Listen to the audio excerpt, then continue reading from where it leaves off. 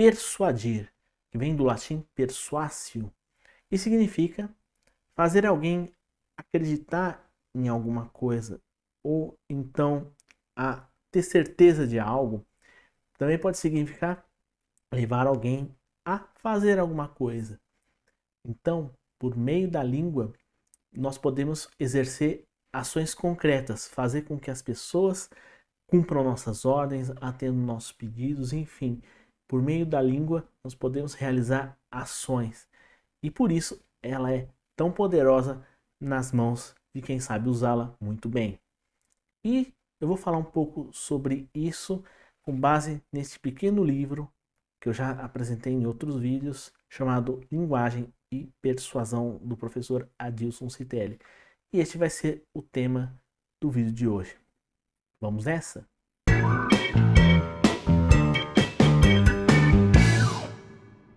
E aí, beleza? Aqui é o Bruno e sejam bem-vindos a mais um vídeo do canal Bruno Garrido Letras e Livros.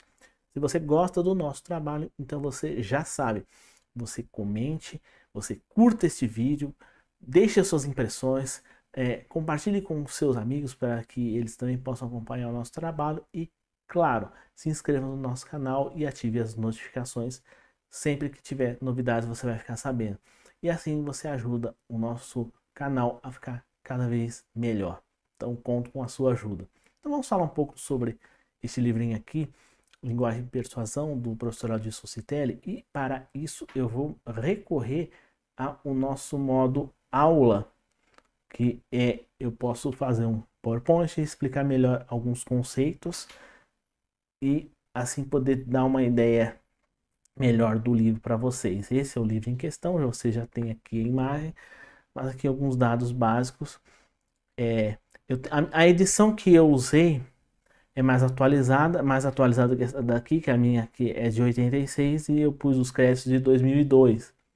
Mas basicamente é o mesmo livro, não, não tem grandes diferenças. É um livro da saudosa coleção série Princípios, que infelizmente foi descontinuada pela editora Ática, mas pode ser encontrada em sebos. E fala um pouco do autor, é o professor Adilson Citelli, ele é professor titular aposentado da ECA, Escola de Comunicações e Artes da USP. E ele se tornou muito conhecido por seus trabalhos, pesquisas na área de educomunicação, que é um, uma área de estudos surgida a partir da comunicação e da educação, da interseção entre essas duas, esses dois campos de conhecimento. Ele também escreveu muito sobre comunicação e linguagem, comunicação e educação, enfim. É uma referência nos estudos dessa área que a gente chama de educomunicação, assim como tantos outros professores que se notabilizaram na Escola de Comunicações e Artes da USP. Então, quando se fala em educomunicação, a ECA é a grande referência, porque muitos dos seus autores principais são de lá, incluindo o professor Citelli. Então, falar um pouco sobre o que, que é o livro, como é que ele se estrutura, quais são os conceitos importantes que ele traz, como está organizado. O que ele faz nada mais é que uma síntese teórica dos vários conceitos que fazem parte desse estudo amplo e complexo chamado retórica. E esse estudo ele é aplicado, esses conceitos são aplicados, são entendidos de acordo com os estudos linguísticos e da comunicação, que usam muito bem esses conceitos de retórica e de tudo que está relacionado com essa área. Ele faz, o professor Citelli, um retrospecto muito breve da retórica, assim, desde o seu início na Grécia Antiga até o seu declínio e o seu ressurgimento a partir de autores, principalmente do destaque aqui, autores da Bélgica, seja da escola de Liège, seja também da escola de Bruxelas. O autor dá mais destaque à escola de Liège. A escola de Bruxelas é um destaque meu, mas que são, é uma, são correntes importantíssimas nos chamados estudos de nova retórica. Então, você, é muito, você gosta desse assunto, é muito importante que você conheça tanto a sua base clássica, vinda de Aristóteles e de outros autores que o sucederam, como também de estudos mais modernos. E esses autores da escola de Liège e da escola de Bruxelas têm muito a contribuir nesse sentido. Para o professor Citeri, a retórica é uma disciplina que tem feições científicas, já desde aquela época. Porque o que, por que, que ele diz isso? Porque ele procura, é, a retórica procura identificar e descrever os mecanismos de construção lógico-argumentativa de um texto com vistas à persuasão. Então ele já tem um olhar de, de que trata o texto ou os, as formas textuais de uma forma não apenas assim meramente interpretativa, mas buscar o seu funcionamento. Há autores e, e faz todo sentido que dizem que as, os estudos de retórica é, seria o primeiro campo de estudos é, voltada à análise de discurso. Então, a primeira forma de análise de discurso que existe é a retórica. É claro que tem as, as diferenças entre uma análise, análise de discurso moderno e estudos retóricos, mas há muita interseção e faz todo sentido considerar que a retórica se volte a isso, seja o primeiro campo de estudos com essa finalidade, porque é justamente isso que ela se trata, buscar esse funcionamento da linguagem para é, com o propósito de fazer com que a pessoa é, modifique seus estados de ânimo, faz, faz com que ela tome atitudes conforme os interesses de quem fala, enfim, que é o que a gente chama de persuasão. E retomando o que nós falamos logo no início do vídeo. É, então, os objetivos da retórica, segundo o livro, não é se preocupar com o que se diz, mas sim a forma como se diz. E, ao final, é, ele apresenta outros conceitos relacionados ao estudo retórico, como é o, a verossimilhança, a metáfora e a metonímia. A verossimilhança, que também é utilizada na teoria literária, a forma como o autor constrói o seu universo de forma como ele que pareça verdadeiro, mesmo que não seja, mas é a construção dessa impressão de verdade. Outros conceitos que o autor utiliza é os conceitos de signo assim, e, e tudo assim associado com a persuasão. O conceito de signo, eu já falei isso no vídeo em que eu trabalhei o livro do professor Brickstein, que é o Técnicas de Comunicação Escrita, que a noção de signo trabalhada aqui é a mesma. É o signo sob o ponto de vista da linguística estrutural de Ferdinand Saussure.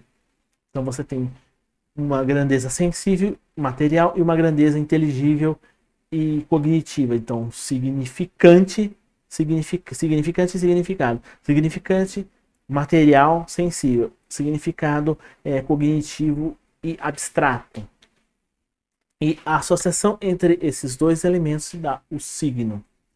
Por que, que ele trata dessa forma?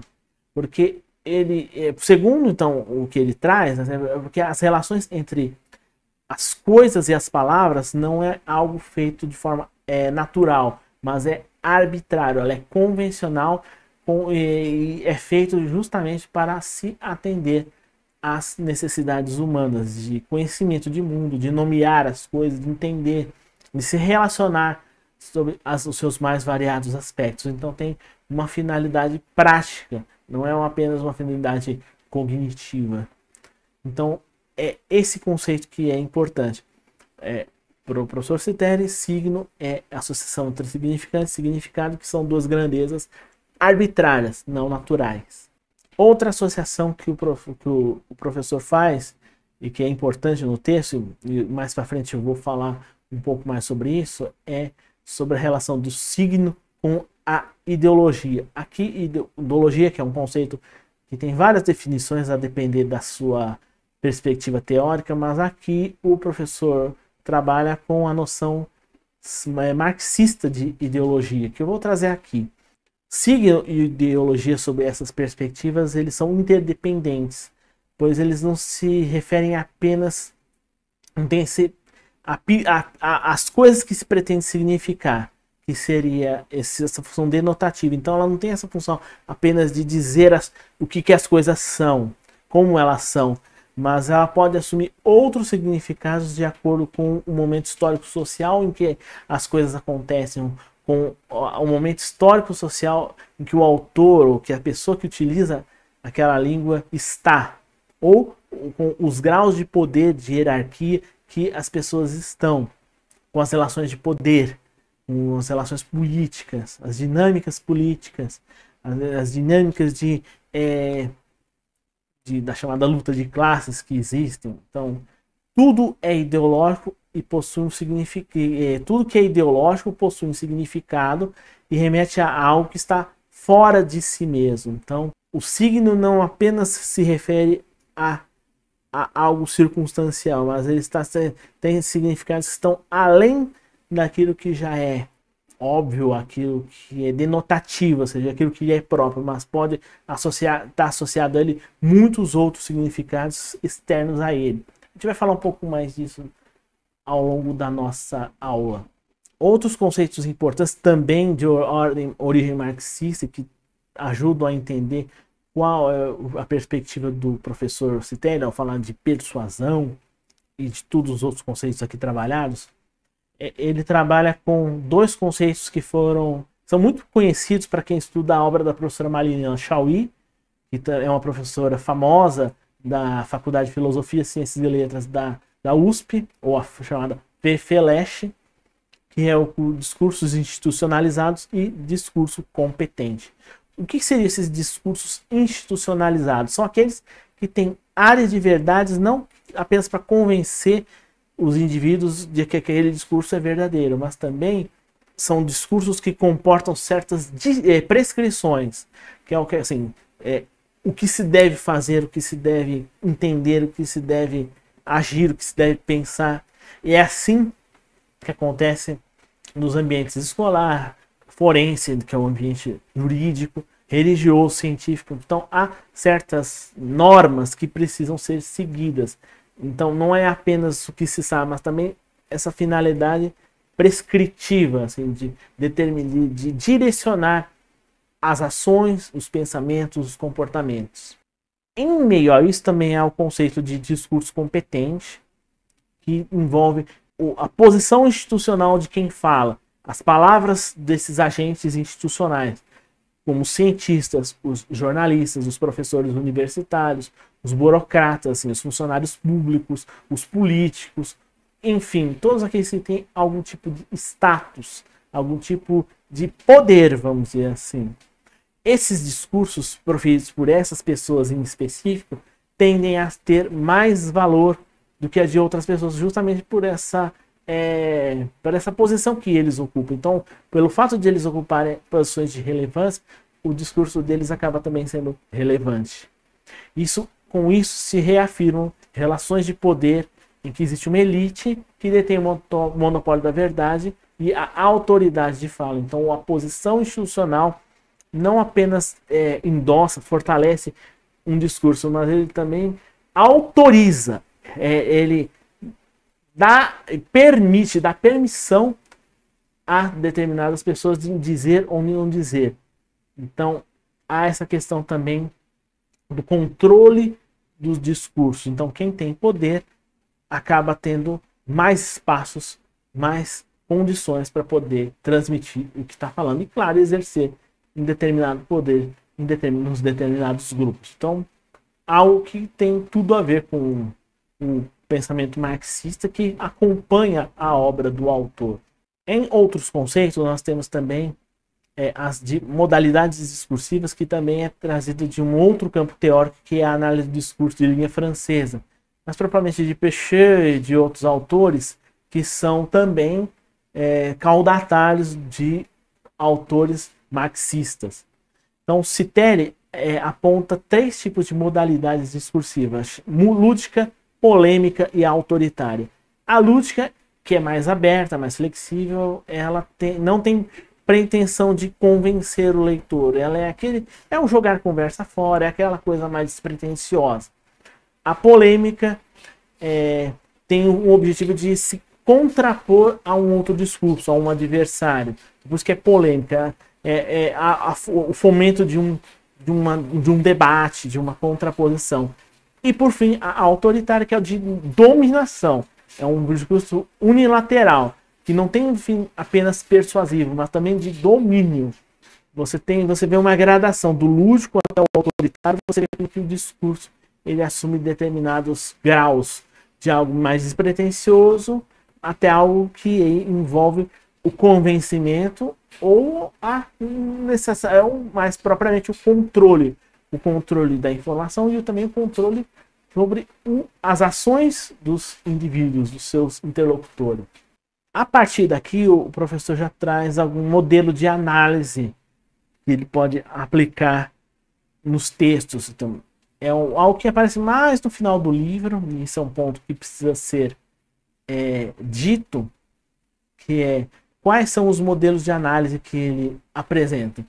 É, distância, ele está em quatro grandezas: distância, modalização, tensão e transparência. O que seria a distância? A atitude do sujeito falante face ao seu enunciado, sim, a distanciamento entre quem diz e o que diz, modalização, a forma como ele constrói esse enunciado, a relação que se estabelece entre emissor e receptor, que é a atenção, se ela é positiva, negativa, se ela é tensa, se ela é serena, enfim.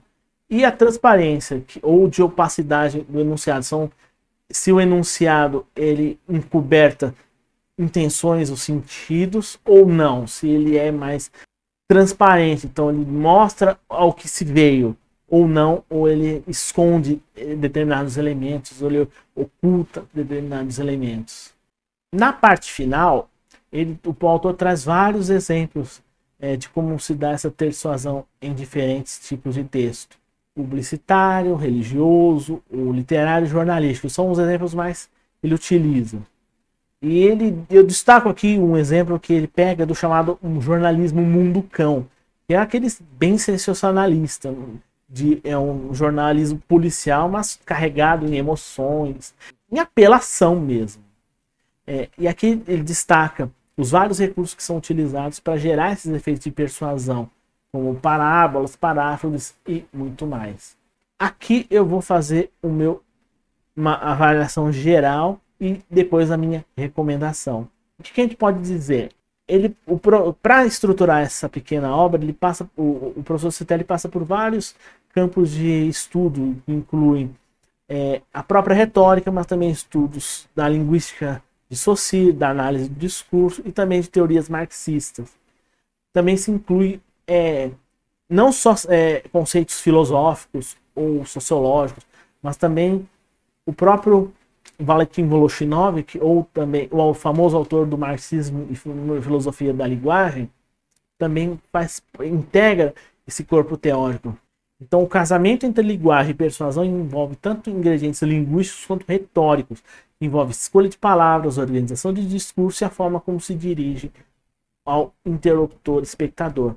Mas também há um destaque grande a esse componente ideológico.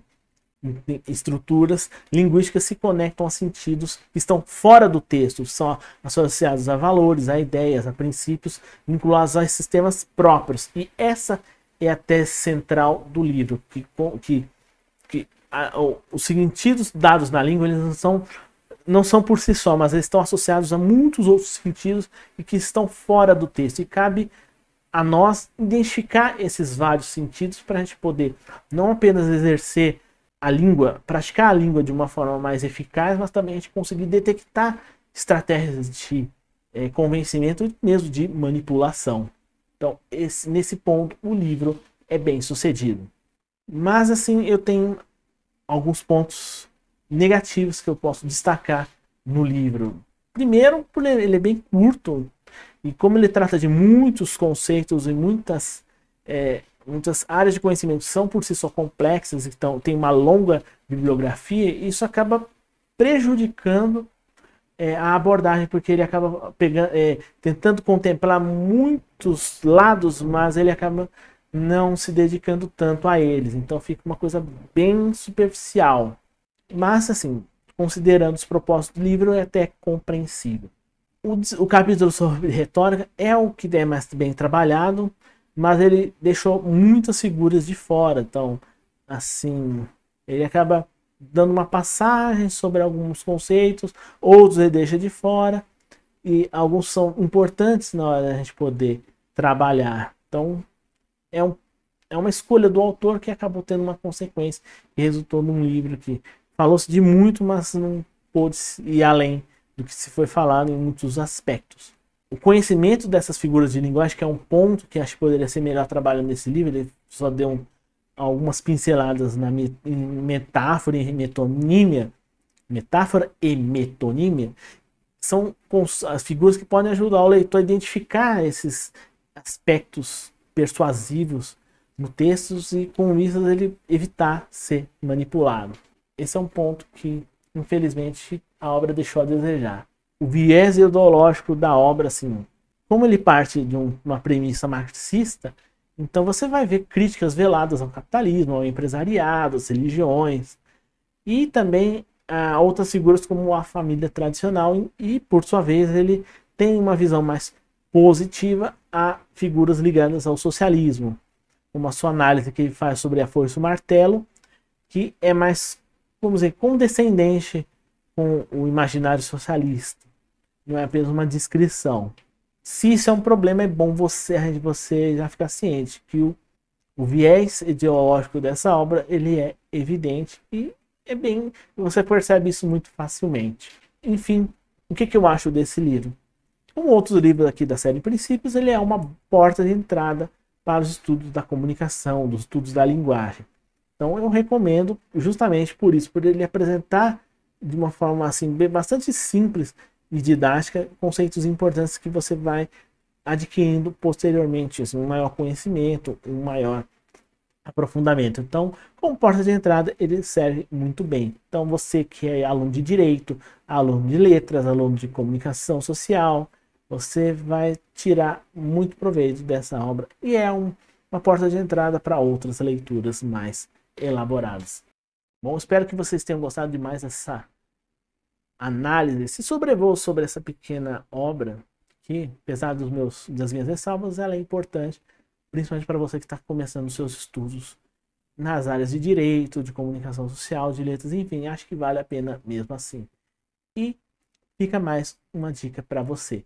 Se você gosta da, das nossas análises, dos nossos trabalhos assim, mais aprofundados, se você gosta dos nossos vídeos, nosso trabalho, seja os vídeos curtos, os vídeos longos, então você já sabe, você já deixa a sua curtida, assim, você mostra que você gostou desse vídeo, deixe seus comentários, porque comentário é importante, porque ajuda no engajamento, então deixe a sua opinião, gostou ou não gostou, não importa, fique à vontade para se manifestar como quiser. Compartilhe esse vídeo com seus amigos e, claro, se inscreva no nosso canal e ative as notificações para você poder acompanhar os lançamentos assim que eles forem chegando. E espero ver você de novo no próximo vídeo, numa próxima análise. Um grande abraço, fique com Deus e até a próxima.